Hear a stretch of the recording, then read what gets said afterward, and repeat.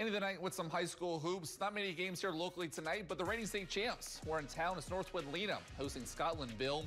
Lady Gators up 10 to 4 with seconds left here in the first. McDonald with the steal. Takes it all the way for the bucket at the buzzer. Here in the second, Naija Moran tied down in the post, kicks it out to Rihanna, battles at the top of the key, and she sinks that one. Battles once again, coming up just short, but Bowman says, I got you with the clean up there. Lady Hornets will get it within three at the break, but coming out of the half, Weatherall takes advantage of the defense, hits Henson for the easy lay-in. Northwood Lena goes on a 14-6 run in the third. They secure a double-digit lead, and they secure the dub, the reigning state champs, with a big win to start 2024 over Scotlandville, 42 to 27.